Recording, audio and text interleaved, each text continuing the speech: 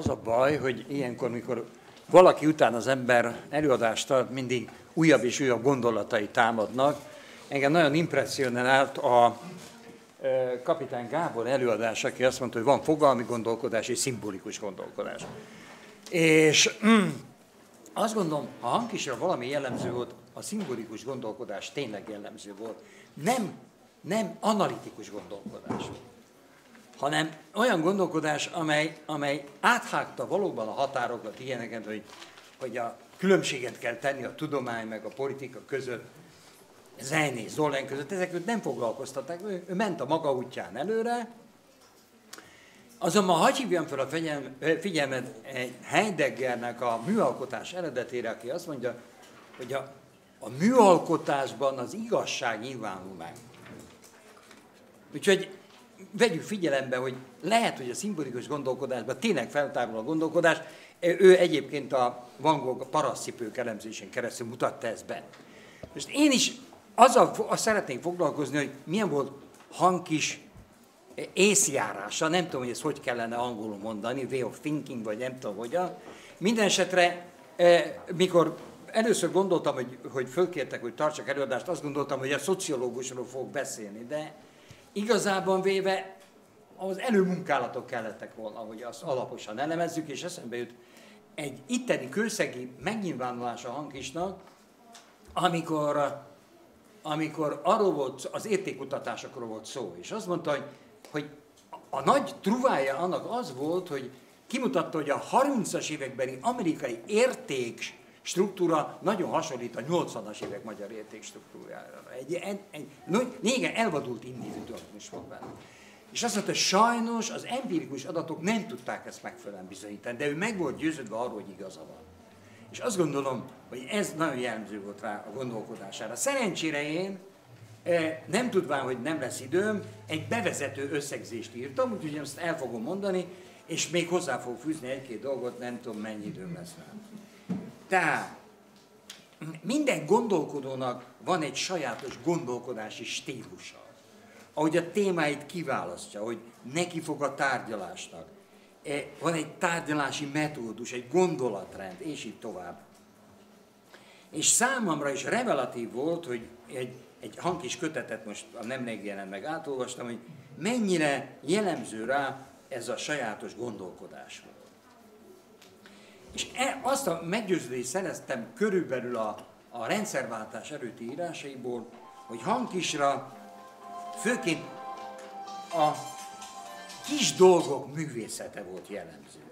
Nem nagyon foglalkozott nagy elméletekkel, noha mindegy, minket tisztába volt, de főleg nem foglalkozott nagy politikai és ideológiai vitákkal. Túlnyomban az angol száz irodalomból dolgozott, és bár például Habermas többször idézte, de soha nem foglalkozott a kommunikatív cselekvés elméletével komolyan. Vagy a francia neonicsánosokkal. Tehát ő óvakodott a nagy elméletektől. Ő a saját érzékére hagyatkozott, majd fogok egy Hegel idézetet hozni, hogy hogyan kell ezt értelmezni. Ő a mikrovilágot nézte, a hétköznapi történéseken, ugye régi Gürvics Broder vitából idézek egy kifejezést, kis prométeuszi pillanatokat, miközben nagy prométeuszi pillanatok, a forradalmak, háborúk nem keltették föl figyelmét. Ő inkább a szordinósabb megközelítést, a finom átmeneteket kedvelte. Jellemző, hogy amikor nagy tablót kellett felvázolni a Magyar Modernről című írásában, akkor is főként a 50 és 80 közötti időből a mérsékelt szocializmust emelte ki, amár túl volt a totális államszocializmuson, a forradalmi 40-es, 50-es éveken, és láthatólag nagyon áthallásosan és nagyon óvatosan azt lótta fel, kinek vagy minek ezt nem firtatta, hogy amit nyugaton magyar gulyás kommunizmusnak neveznek, miért nem építették ki ideológiai sajátos magyar úttá? Viszont nagy segítségére van neki, hogy az 50-es éveket lehetett bírálni, amit áthallásosan a Kádár rendszer is éppen lehetett. Másik ilyen sajátosság volt a, a hangkis gondolkodásnak egyfajta kisemberi szolidaritás. Hangkis akkor is, amikor viselkedés kultúránk hiányosságait vette számba, ott is mély együttérzést árult el a hétköznapi emberek iránt érezni lehetett, hogy miközben bírál, nem a kis embereket teszi felelőssé, és ebben egy sajátos mély humánumra ered. Őt az utca ember, a mindennapi élet érdekelte. Akkor is, amikor fejére olvasta a korrupciót, mert ő valóban kidolgozta, egy régi alúziót említsek, a történelem és társadalom alulnézetben sajátos megfigyelési optikáját. Másfelől politikailag addig ment el, ameddig az első nyilvánosságban egyáltalán el lehetett menni.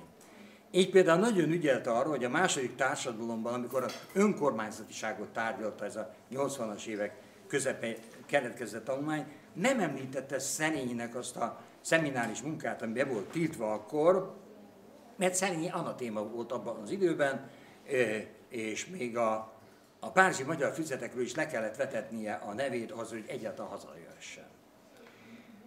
Na most úgy látom, hogy Hank is valószínűleg amiatt, hogy 56 után 10 hónapig úgy tudom előzetes letartóztatásban van, nagyon óvatos van gondolkodott és írt, és például nem írta alá a, a 78-as tiltakozást a, a Kárta 77 miatt, és ezzel kapcsolatban szeretném idézni, hogy öntudatlanos Bibót követte, aki Huszár Tibornak egy interjúban azt mondta a 30-as évekbeli rezervált magatartására, hogy igazi, tevékeny közéleti munkára kevés volt a lehetőség akkor, a demonstratív dolgokhoz pedig igazában egyikünknek sem, már tudik Erdeivel együtt, nem volt érzékünk.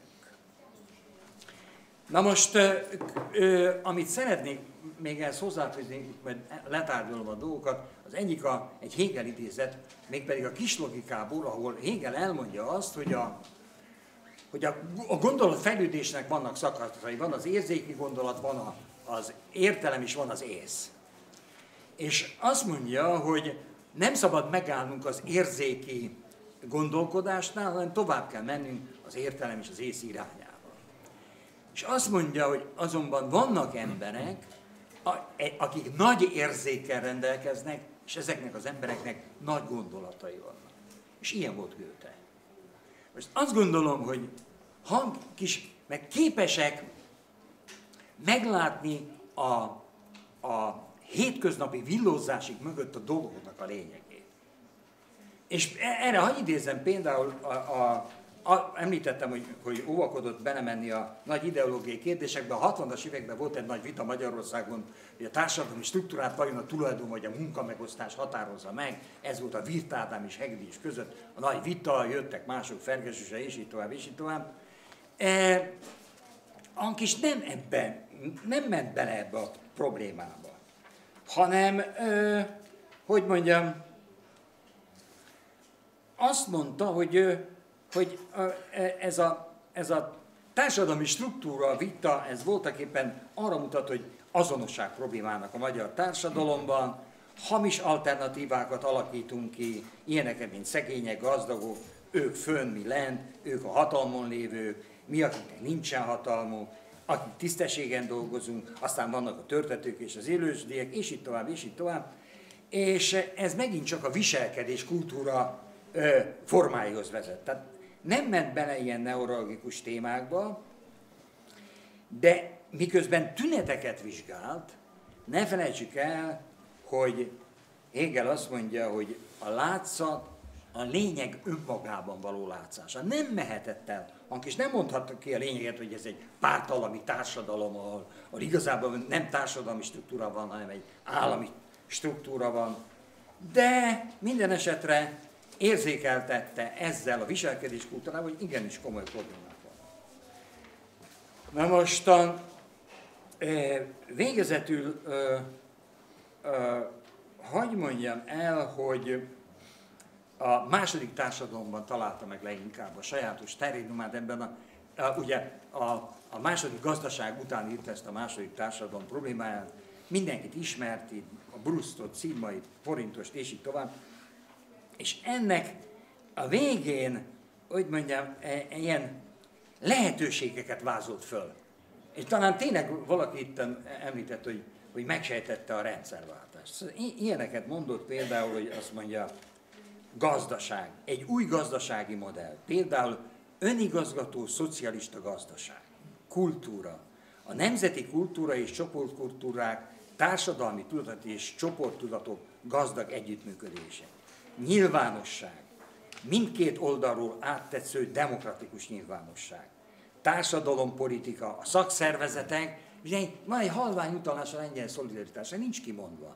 A szakszervezetek reprezentatív jellege és érdekvédelmi funkciónak a dominanciája, a társadalmi részvétel a döntések meghozatalában és a végrehajtásuk ellenőrzése, körülbelül eddig lehetett elmenni a nyilvánosság, a, a, a nyilvánosságban 80-as években, és ő elment, ameddig lehetett. Végezetül hagy idézzek egy, amikor 80 éves volt a hangkis elemér, akkor is a, a Misznivec tanár úr rendezett egy konferenciát, ahol nagyon meglepett engem, hogy mindenki ott volt jobb és baloldalról egyaránt. Ott volt a Kondor Katalin, és ott volt a Gombár Csaba is. És ekkor fölébredt előttem, és ott is ezt mondtam, és most is ezt mondom, hogy Hank is megvalósította a szabadon levegő értelmiségi pozícióját a magyar társadalomban, akkor is és a rendszerváltás után is.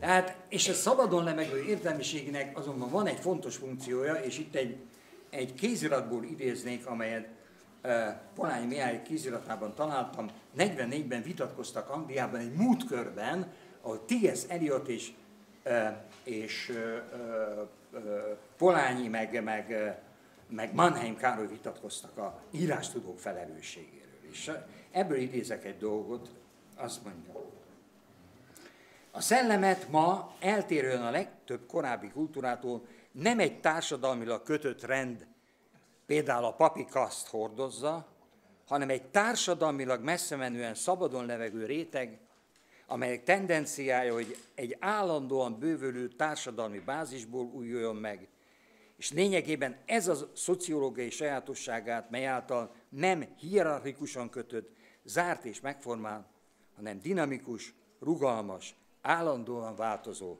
és problémákkal terhes. Hát ha valakire, akkor ez tényleg jellemző volt Hankis Köszönöm szépen.